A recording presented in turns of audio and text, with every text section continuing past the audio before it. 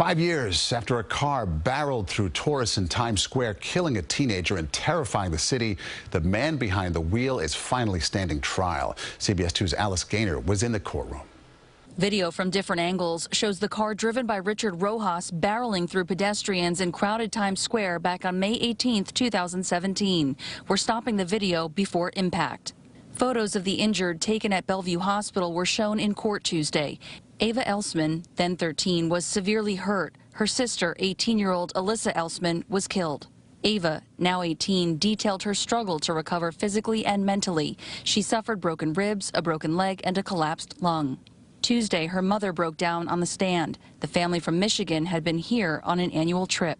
I remember kind of flipping over a car um, and hurting my back. Michael Lillenstein also plans to take the stand. He was walking back to his office after grabbing lunch when he was struck by the car. One individual was right next to me to my right. He was bleeding all over. I got hit kind of dead on, uh, and but I came away with almost no injuries, uh, no permanent injuries, a little back pain and some stitches on my elbow. It took some time to kind of get over this fear of just, you know, getting hit by a car.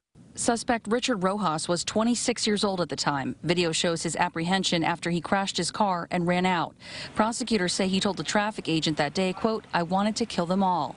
At the time, authorities said he told police he had been smoking marijuana laced with PCP. The defense argues the now 31-year-old has a history of mental illness and that this is a case about a 26-year-old who lost his mind. Rojas has pleaded not guilty to murder, assault, and other charges. Other victims who were also seriously injured are expected to take the stand. In Times Square, Alice Gainer, CBS 2 News.